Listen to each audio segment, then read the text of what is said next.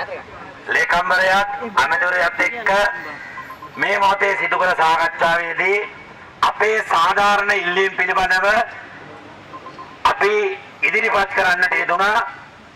ඒ අනුව ඔවුන්නේ අපේ ඉල්ලීම් වලට එකම නැහැ.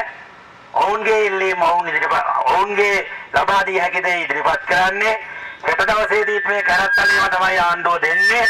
හැබැයි අපි කිව්වා ඕගොල්ලෝම විසඳුම් ගන්න නෙවෙයි අපි ආවේ.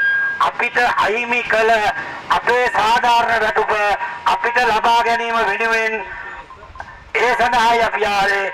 එය ලබා දෙන තුරු අමාත්‍යාංශය දෙන කරත්තල කන්නට අපිට කැමැති.